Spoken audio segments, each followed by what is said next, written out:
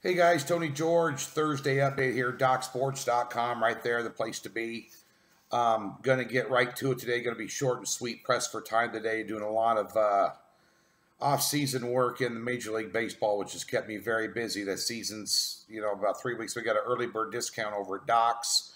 Speaking of Major League Baseball, we put up a gambling 101 um, handicapping tips for Major League Baseball yesterday. It's in the uh, gambling 101 section here on this page. Go go check it out. I just gave you some basic insights uh, into uh, my thought process and handicap in Major League Baseball. Obviously, off uh, an epic year last year.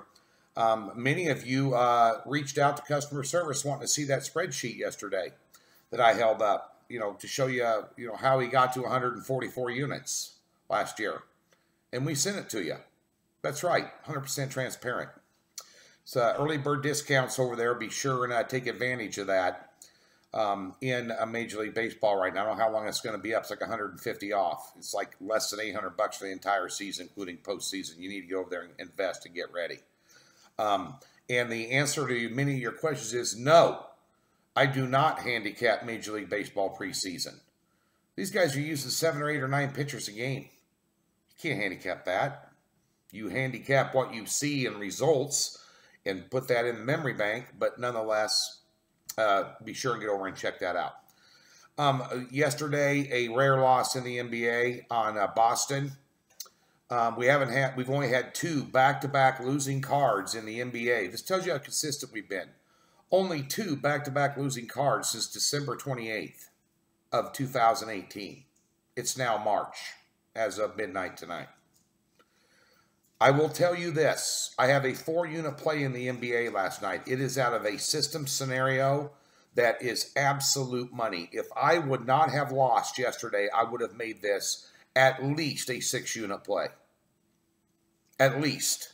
But being prudent, being low volume, being uh, the majority of the time a flat bettor, I kept it at four units if you have been sitting on the sidelines wanting to jump on board in the NBA in the right spot with Tony George, tonight would be your night. Doc Sports. College basketball, loss on Davidson last night.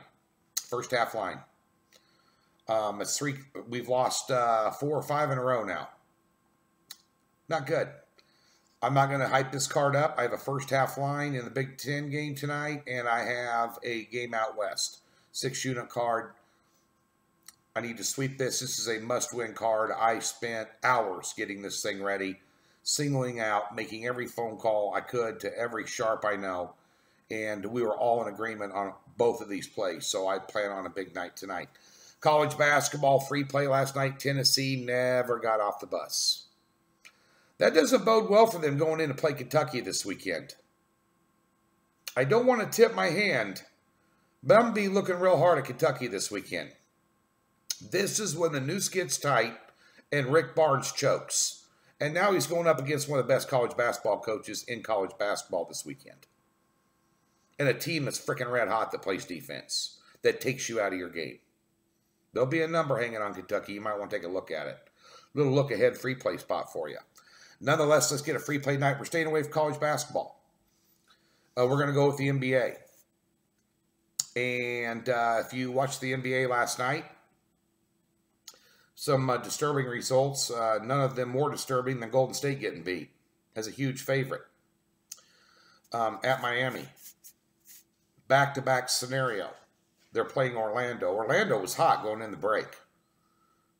Well, now they've had losses to Chicago Bulls and the New York Knicks, two of the biggest bottom feeders in the NBA and you're catching Golden State. Uh, they were way down. They came back. I think they lost by one, um, but it was a lot worse than what the score indicated.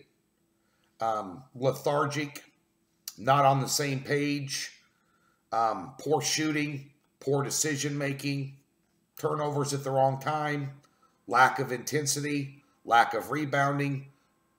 I'm just I'm describing Golden State, not Orlando, who's the worst team in this matchup. Golden State's laying six. I you might want to take a look at the halftime line too. It's going to be less than that. Golden State will come out with a purpose and authority tonight. I will lay the six with Golden State.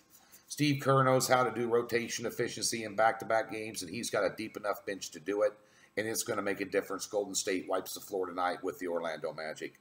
Your free play. Take a look at the halftime line, too. I'm Tony George. I'm at Doc Sports. I'm not kidding you when I tell you this NBA game that I have out tonight is pure money. It's like an ATM machine. You don't even need to enter in your PIN code. Just hit enter. Purchase the play, stick money in your pocket. Have a great Thursday.